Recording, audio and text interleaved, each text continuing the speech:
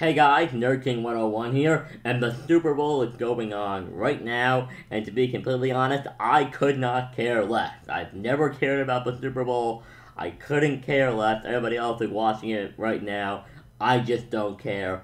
I've never cared, and honestly, I think the whole concept is kind of ridiculous to get this typed up over a game for four hours. However, it did give us a new Endgame trailer, so we're gonna talk about it. The trailer kicked off with a shot to go by in a single second, there's nothing to really analyze here. I just think it's a really cool shot. It's literally just snapshots of clips of all the characters that got dusted at the end of Infinity War. Then we cut to the logo, which gets dusted away with the same effect that was used in the original first Endgame trailer. We then cut to a shot of New York City from the skyline, when we get to see the city, it's night and it's empty. We then cut to another shot of Liberty Island where we see the Statue of Liberty and that is also surrounded by boats, but there's like no people. It's just vacant, nothing that we're really finally getting to see what this post-apocalyptic, post-snapping MCU looks like, and it's really cool, and it really sets a very dark tone for this movie. Which is good, it immediately establishes that this movie is not going to be anything like the other Marvel movies in terms of its tone. So now we get probably one of my favorite parts just in terms of direction from the entire trailer. Some people move on,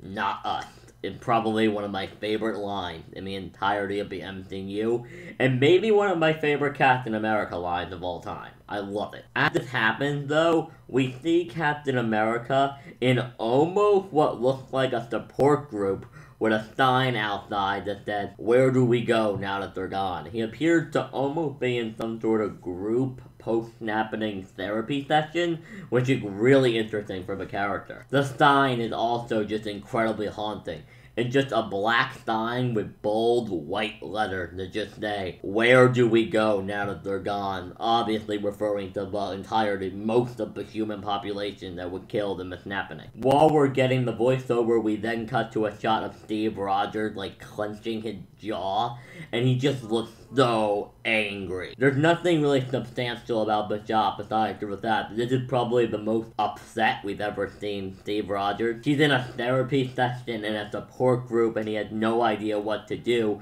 so of course he's really angry. He doesn't know if they're going to be able to save everyone, and he's really upset because he doesn't know what to do for once. Also, him being in this support therapy group basically confirms that there has been some kind of time jump that enough time had passed since Infinity War that he would end up in a support group and not be at like Avengers HQ trying to deal with the problem. Like he's able to have time to go here. We then cut to my man Tony Stark and Nebula in a ship building something likely out of a box of scrap. One thing that does confirm is that Nebula is on the ship with Tony Stark.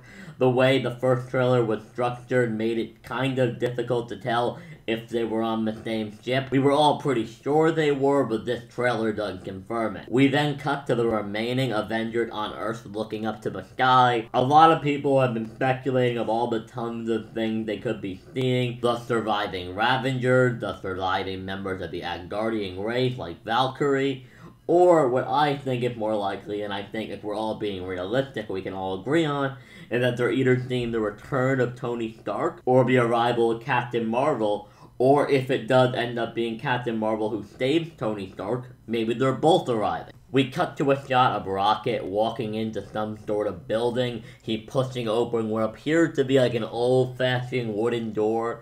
It's made of wood. It has the metal sliding lock on the front. In the background, is this like stream of water. There's a rundown area. There's a ton of rocks. The grass doesn't look very well kept. I'm honestly not sure where Rocket is. He appears to be on Earth, the only thing I can think of is that he's somewhere around Wakanda, somewhere far away from the capital. That's the only thing I can really think of. That, or he's off doing something that has to do with Groot. I would not be surprised if there was something with Groot involving Rocket in the film. We then cut to a shot of Black Widow or Natasha firing and just practicing her gunshots on the shooting range at Avengers headquarters. However, there is something we should all pay attention to, which is Natasha's hair. First of all, her hair is is still dyed blonde and still very short, just like it was in Infinity War, meaning that at least this part of the film probably takes place around the end of Infinity War. Around that time period. This is before the time jump. We then cut to a shot and we see Scott Lang and Rhodey uh, in their suits and their helmets are flipping up. They appear to be getting ready to enter battle or to set off on a mission. We then cut to a shot of Thor. He looks really angry and he appeared to be walking out of some kind of hut. I have seen some people say he may be walking out of the hut that Thanos was in at the end of uh, Avengers Infinity War, and I think that is very possible, but if you look outside the hut, the mountain range out there doesn't look very much like the brief shot we saw of the planet Thanos was on. It appeared to me, personally, that it is more likely that this is just a hut of some kind in Wakanda, and this takes place immediately after Avengers Infinity War. Like, this is one of the first things we're going to see in the movie. Which is pretty consistent with most of the content we've seen in the trailer, just not all of it. I think most people agree that everything we've seen is only from the first half of the movie, from the very beginning. So what I think is likely that they're going to do is just not show us anything else. The movie has enough hype, it's been built up for 10 years. You don't really need to put a ton of action and end of movie spoilers in this. This movie's going to break records regardless. We then cut to a shot of Hawkeye or Clint Barton looking up through the red light shining on his face. I'm assuming he's about to enter a really big battle because he looks really afraid. He may even be entering battle with Thanos. He's definitely afraid of something, but he looks scared. We then cut to a shot of what appears to be Steve Rogers, Captain America, strapping his shield onto a wrist. However, something that is very interesting about it is that his hand is like shaking, like he's having trouble controlling it. Some people are wondering if because he's strapping it and because he's having so much trouble doing it, this is a version of Steve Rogers that doesn't have his super soldier serum. I don't think that's what happened.